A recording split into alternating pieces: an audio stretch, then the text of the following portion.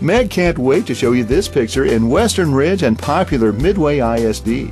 This four bedroom, three bath home has charm galore with an open floor plan plus a game room. The family room, kitchen, and breakfast area, as well as the master, all overlook the beautifully landscaped backyard and pool. A must see, don't miss this one.